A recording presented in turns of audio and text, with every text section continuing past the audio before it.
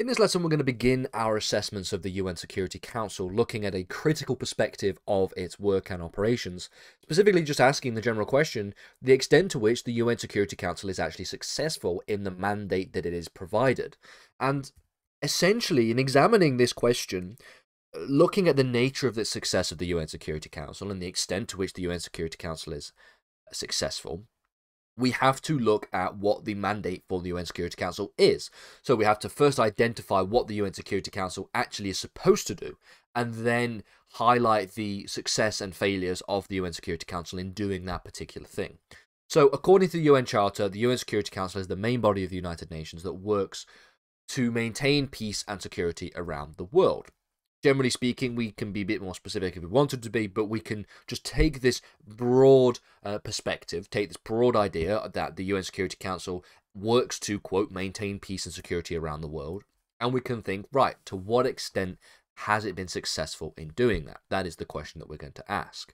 And if we want to know the success of the UN Security Council, we have to know how successful has it been in the maintenance of peace and security around the world. Well, there are a couple of arguments that we can have, and I'm going to just essentially present this into two dividing um, debates. Essentially, on the one hand, the UN Security Council is effective, and on the other hand, the UN Security Council is not effective. And on the first end of this, we can look at different various examples of how the UN Security Council has been effective, but also look at why it is effective and the instances and where it is effective specifically. What are the reasons why it has been effective in certain regards, but not in others? Well, Essentially, there are a number of key components of note when we look at the effectiveness of the UN Security Council. It seems that they are only really successful in circumstances where there is broad support for the implementation of intervention and or some kind of peacekeeping operation. Whatever the instrument of choice is for the UN Security Council given a particular uh, situation, a particular troubled circumstance, the extent to which it is successful depends almost on the broad implementation of the uh, particular innovation that it is trying to achieve. And so the implementation of that and the support for the implementation of that is something that has to be reconciled.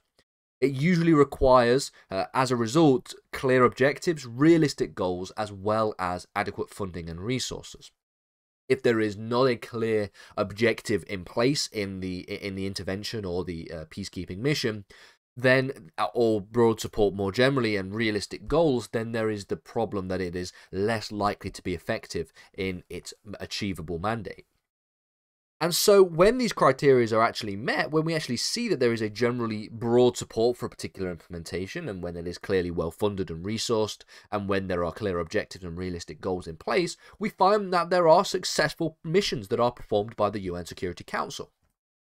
So, for example, in 1990, we've already mentioned UN Security Council Resolution 678, uh, uh, which mandated military action against Iraqi forces upon their invasion of Kuwait. Now, it should be very easy for you to remember this resolution because it is 678. So, you should be able to um, have that one as an easy to remember Security Council resolution for when you go into an exam.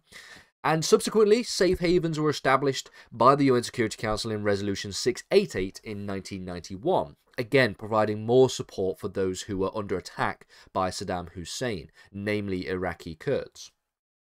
In 2011, we see Resolution 1973, which mandated the establishment of no-fly zones in Libya to prevent, um, in order to prevent suffering of the civilian population at the hands of Gaddafi. Now, on its face, this is a controversial uh, uh, resolution because, uh, at least prima facie, it was seen as a success because it was um, mandating, it was a clear objective, and it clearly established no fly zones in Libya. However, this resolution utilized uh, was utilized, should I say, by NATO as military justification for intervention in Libya, and the NATO intervention in Libya was something that is arguably controversial and arguably something that we need to would we would need to debate in the future and i'm sure we probably will when we get on to looking at um, security issues relating to nato in a few lessons time.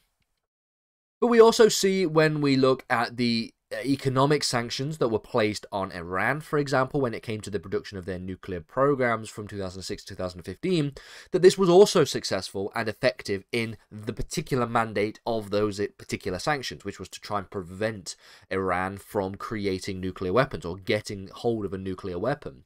And it would culminate in Iran abandoning its nuclear programs, as well as the Iran nuclear deal, which was established under the Obama administration. Um, subsequently, it was dropped by the Trump administration, but uh, nevertheless, we have uh, the fact that Iran at the time did not have and did not have the pursuance to nuclear programs uh, in their particular um, state. Now, the extent to which they are pursuing nuclear weapons at the moment is something that is uh, another matter for debate, and the extent to which the Iran nuclear deal was a success, again, is another matter of debate, and is beyond the scope of uh, this particular lesson. So those are instances and examples of case studies that you can actually utilize to come to the conclusion that the US Security Council was successful in its operations. What about the counter argument? Because there are, of course, many are there are many counter arguments to this particular debate as well. Many scholars come to the conclusion that one of the main issues with the UN Security Council is, of course, the political position of the five permanent members of the council itself. We mentioned this briefly at the end of the last lesson, but essentially it, it creates, firstly, an imbalance it creates a conflict of interest in terms of certain situations where permanent members have a vested interest in uh, in attaining certain goals that are not aligned with the goals of the Security Council more generally. And essentially, action by the Security Council can be halted if it is not in the best interest of the five permanent members due to their veto power. And so there are multiple examples of this being the case. So, for example, during the 1994 genocide in Rwanda, there was a distinct unwillingness on the part of the United States to commit humanitarian intervention. And this is due to the fact that there was political backlash following humanitarian intervention that took place in Somalia in 1993, something that resulted in the deaths of, uh, uh, I believe, around 13 servicemen. Now, the reason why we see a lack of intervention on the part specifically of the USA in that in Rwanda um, is not because they didn't know about what was happening in Rwanda. In fact, during the Rwandan genocide, the United Nations uh, did not leave. Uh, neither did the International Committee for the Red Cross and Red Crescent, and so there was ample evidence coming out of Rwanda that there was um, this genocide taking place. But the US. Uh, for multiple um, complicated reasons, probably geopolitical reasons. One of them being this lack of intervention or lack of motivation for intervention due to Somalia in 1993.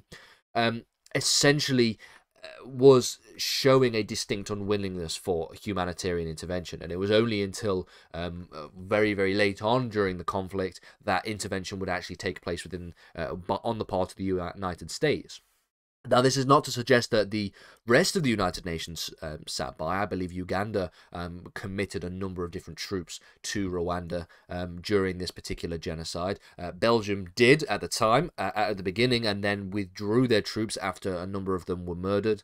And so we have this complicated situation here where we have the rest of the international community um, being stuck in a position where they really don't want to commit to humanitarian intervention, but in reality really should have done.